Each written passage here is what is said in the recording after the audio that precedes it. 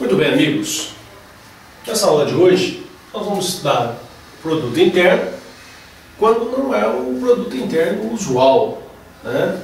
Quando a gente vai verificar se realmente esse produto interno é válido ou não.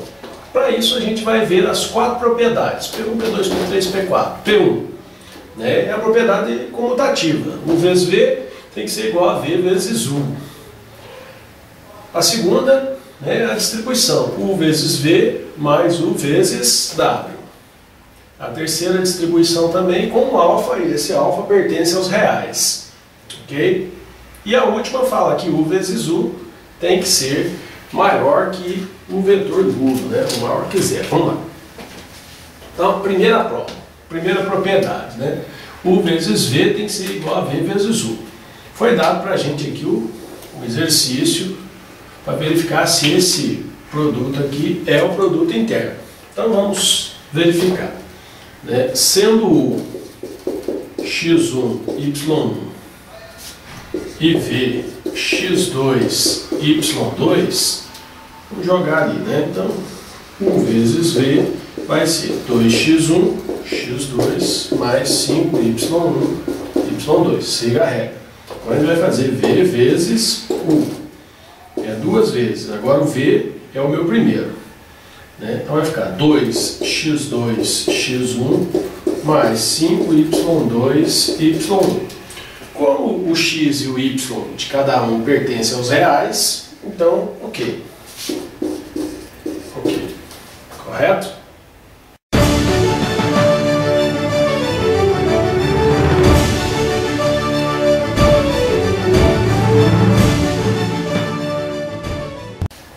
Vamos ao P2. Então, ó, 1 vezes V mais W. Vamos fazer isso aí primeiro. Quem é U? U é o X1, X2, né? Então, X1, Y1, desculpe, X1, X2, X1, Y1. E ali vamos fazer aquela soma primeiro. X2, Y2 mais X3, Y3 fazendo a soma, eu botei x1, y1 vezes x2 mais x3, y2 mais y3. Usando o produto interno, que fala duas vezes o x do primeiro vezes o x do segundo, vamos ter 2x1, x2 mais x3, mais 5y1 y2 mais y3. Tá aí o resultado. Agora vamos ver se U vezes V mais U vezes W. Se a gente chega numa resposta igual àquela. Muito bem.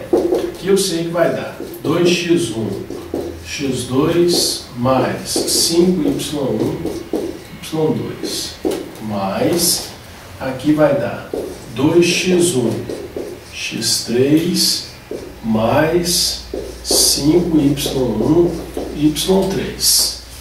Beleza, que usei essa regra aqui, né? Para U vezes V, depois U vezes W. Aqui eu posso colocar 2x1 em evidência, que eu tenho nesse termo e nesse termo. Aí vai ficar x2 mais x3. Também posso colocar o 5y1 em evidência. Vai ficar y2 mais y3. Beleza. Ok também. P3. Vamos lá. Então, alfa vezes U vezes V. Vamos fazer isso primeiro. Alfa vezes x1y1 vezes x2, y2. Vamos, vamos ter alfa x1, alfa y1, x2, y2. E aí, usando o produto interno, vou ter duas vezes alfa x1, x2 mais 5 alfa y1, y2. Cheguei nessa resposta. Vamos fazer essa parte aqui alfa vezes U vezes V. Então é alfa vezes aqui assim x1 y1 x2 y2. Correto? Alfa vezes 2x1 x2 mais 5y1 y2. Multiplicando tudo por alfa, vou ter 2 alfa x1 x2 mais 5 alfa y1 y2. Beleza. E u vezes u tem que ser maior que zero.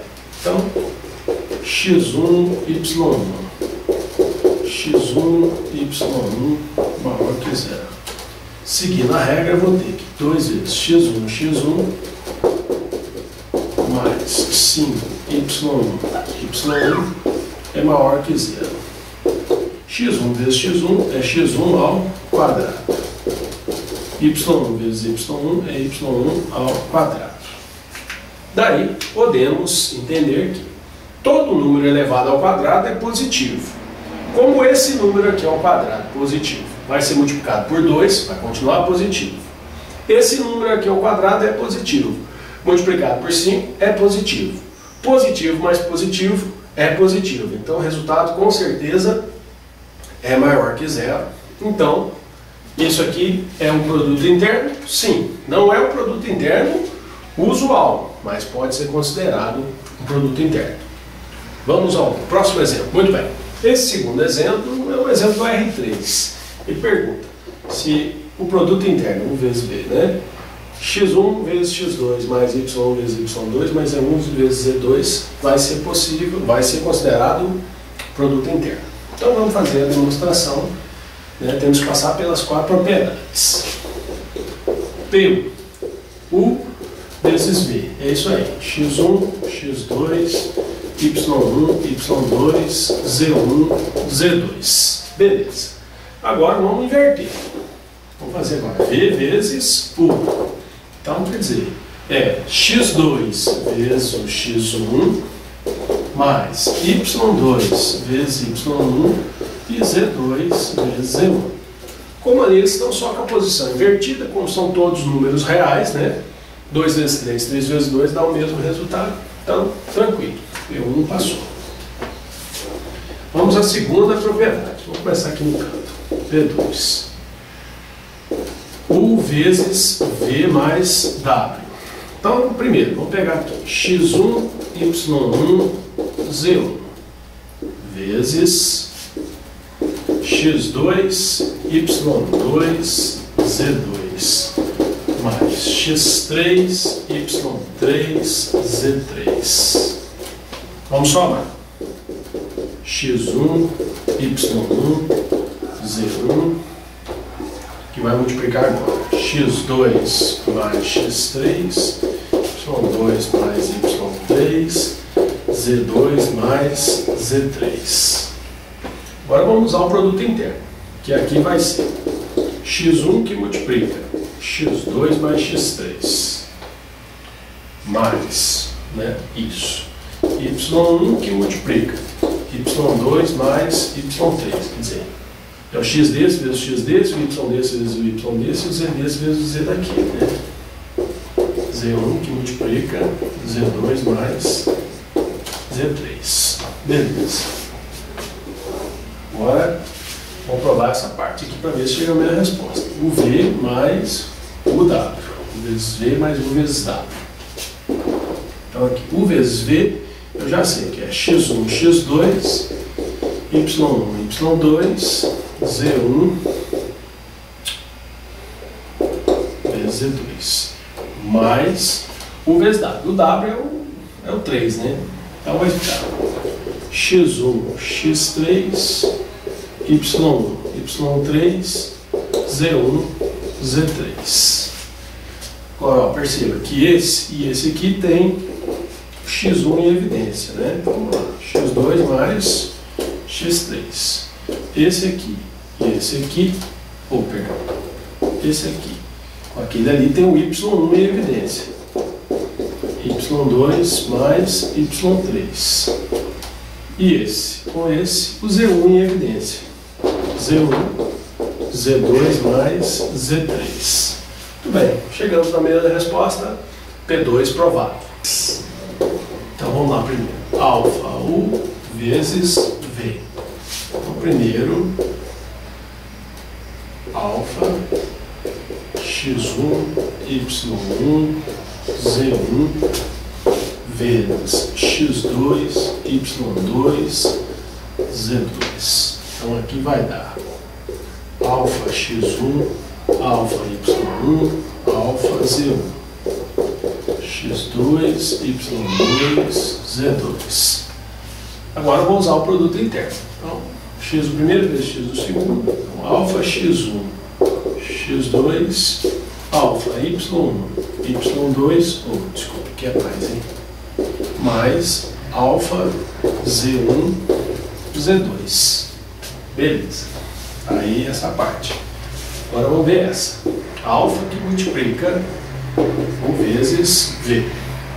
Alfa que multiplica, eu já sei que 1 vezes V é x1, x2, y1, y2, z1, z2, né? Estou sempre falando, já sei porque está escrito lá, né? Então, só multiplicar por alfa, distribuir a multiplicação. Então vai ficar alfa x1, x2, alfa y1, y2, alfa z1, z2. Tudo bem? Então, P3 também deu certo. Muito bem. P4. Então, o vezes 1. Então, vamos ter x1 vezes x1 mais y1 vezes y1 mais z1 vezes z1. É, então, isso tem que ser maior que zero. Então, é x1 ao quadrado y1 ao quadrado, z1 ao quadrado. Muito bem.